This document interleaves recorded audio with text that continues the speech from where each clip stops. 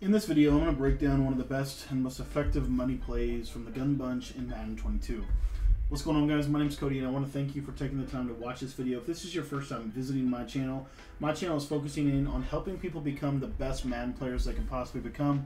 So if you're looking to get better at this game, I want to encourage you to click subscribe down below, turn on those notifications as we upload Madden 22 tips and tricks that can help you on both sides of the ball every single day on our YouTube channel.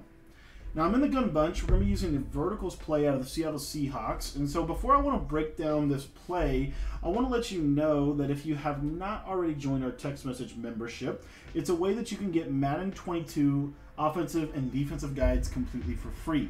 All you have to do to sign up is text the word Madden to 208-218-6900 and we'll shoot you those schemes completely for free every single week throughout the course of the Madden 22 season. Again, all you have to do is text the word Madden to 208 218 6900. Okay, guys, so I wanted to share this play verticals with you this year. I think this is um, going to be maybe the best play out of Gun Bunch. It's really, really effective uh, for a lot of different reasons. We're going to go over uh, a couple of different versions of this play, and I think you're going to have a lot of fun with it. So the first way we're going to do it is kind of the traditional way. We're going to motion circle to the outside. And what you're going to see is this X receiver is going to really find a sweet spot in the seam. It's actually better than it's ever been, in my personal opinion. The seams in this year's game are very vulnerable to um, easy reads for your opponent or for your for your quarterback. And so all we have to do is motion this guy out. Literally, that's it. And what you're going to see is another thing that we have is this snap throw. Now I know that we can't snap him in motion, but if it's a cover three zone, okay, if it's any cover three zone, okay, and I'm going to go over cover four drop in just a second, but any cover three coverage where they bail, if they bail, just throw this ball outside pass lead, and as you can see, we're going to be able to consistently hit this for about 10 yards, even if they have a hard flat defender out there. Now I want to show this against cover four drop, just so you can kind of see the difference between the two adjust the two zone adjustments. We're just going to motion him out, kind of let him set his feet, and take a look at cover four drop. You're going to see this actually going to beat it a little bit better. So cover four drop, check. Cover three, check. We're able to beat both of those coverages. Now, the beauty of this play is also found in the fact that, let's say, for example, they, you know, for whatever reason, let's just say that they choose to go Tampa 2. Okay, I really hope they don't because it's too easy to beat. But let's say they run Tampa 2 on this. If they run Tampa 2 on this, what you're going to see is as soon as Circle cuts the outside, just pass lead that straight up. It's a one play touchdown against cover 2 every single time this year. It's actually much better than it's ever been against cover 2. This verticals play obliterates cover 2, and cover 2 was really the best defense against Bunch, Bunch last year, if you ask me.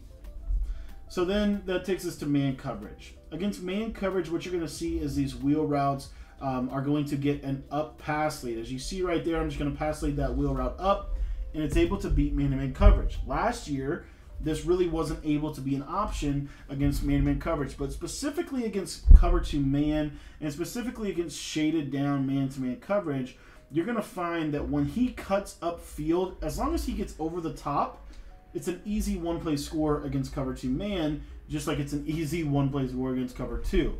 So cover two, check. Cover three, check. Cover four, check. Cover two man, check. Now what I want to do is I want to go over cover zero just for a brief second here. And I'm going to go over shaded over the top coverage. Okay, so I'm shading my coverage over the top. And I want you to watch this vertical receiver uh, circle here. You're going to see that that corner is not going to let him get over the top. So in that example, we're going to just check the ball down to the back, and that back will always beat man-to-man coverage.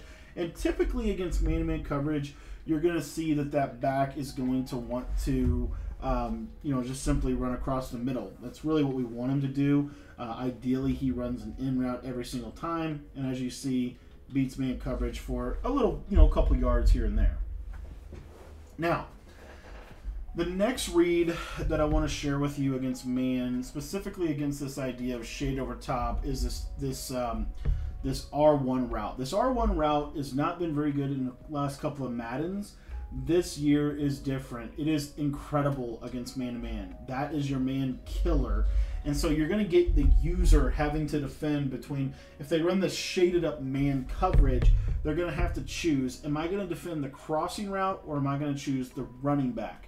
That's pretty much what they have to make a decision on. And generally speaking, um, they're going to actually choose the running back because they're not used to that route to R1 killing man coverage. But take a look at this crosser, pass lead that to the left. Right there, I actually got covered, but typically that's going to be open. I'll show it to you one more time before we get into some more uh, concepts on cover three. So just shading my coverage up. I just want to show you R1. But see that right there? That's what you're supposed to get. And as you can see, it, it just kills man coverage. So now I want to spin uh, one more uh, coverage shell, and that's the cover four show two. Now the cover 4 show 2 does a decent job against this, but again I just want to go through all the coverages with you. And what you're going to see is that the tight end route this year absolutely obliterates cover 4 match. So cover 4 match, check. Cover 4 quarters, check. Cover 2, check. Cover 3, check. Cover 2 man, check. This play literally beats every coverage. And that's what makes it so special because it's a quick snap play. I don't have to make any hot routes. I just motion this guy out and that's it. I'm done. And watch this tight end. If I wait on this tight end, look at how wide open he's going to get. It's almost a one play score every single time. If you can hurdle people, you know, you got Gronk, truck people, it's going to be an absolute laser. I want to talk one more thing a little bit about cover three. So we talked about the snap throw uh, capability of this play. We also talked a little bit about the seams um, and how you can attack the seams but now what I want to do is I want to show you this crossing route to the R1. This crossing route to the R1 is a very underrated route. As you can see right there, the outside thirds, the way that the outside thirds work in Madden 22 is they actually do a decent job of protecting against the vertical the vertical streaks, okay, the outside receivers. But they're going to do a terrible job of defending crossing routes. And so this crossing route to R1 is another thing they're going to have to user. If they don't user it, as you can see, it easily beats the cover three.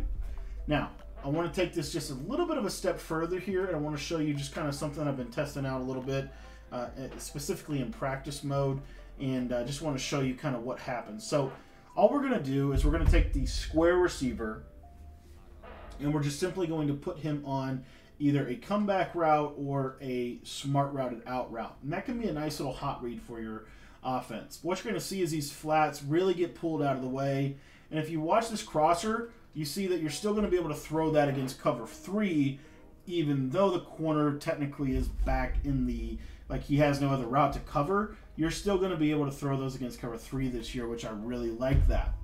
Now, if I use a comeback route and I smart route that comeback route, I want to show you again here. Watch this R1 receiver. You're going to see that now you have a cover three bomb over the top for a one play score against cover three. So, you know, really my favorite adjustment on this play is I love to put that smart route routed comeback out there. I think that's a really good adjustment. It really doesn't mess with everything else we're trying to do. We're still getting up vertical. Um, it's like the perfect adjustment for this play. Now against cover four uh, on that crosser, it's not going to be as open, uh, but it's still going to be open, but it's not going to be open for a one play score. It's still going to be open against for a, a big, big, big play. Okay, so my big point with this is if the defense wants to play, um, you know, any any coverage, really, you could call this and have a lot of success.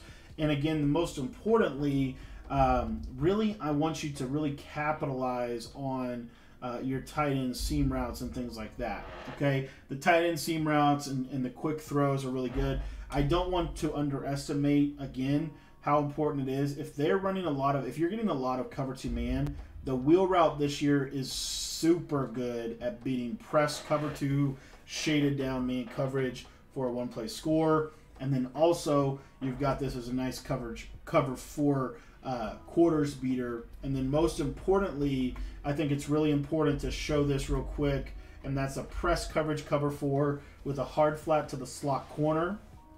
And I just want you to watch. We're just simply pass leading that to the outside and we're able to absolutely torch the cover four defense. So this verticals play literally beats every coverage in the game, and ironically, you don't even have to hot route anybody. You just call the play, motion out the receiver, and it's going to be beat every single thing the defense can do. Guys, I want to thank you for watching this video, and really quickly, I just want to remind you about my text message membership. If you want to get the best schemes in Madden completely for free, text the word Madden to 208 218 6900. I release a new offensive guide or a new defensive guide every single week of the Madden 22 season. So if you want to get all of those free resources and content and really take your Madden game to the next level, text the word Madden to 208 218 6900. Thanks for watching this video, and we'll see you guys later tonight when we start streaming at 7 p.m. Eastern Time.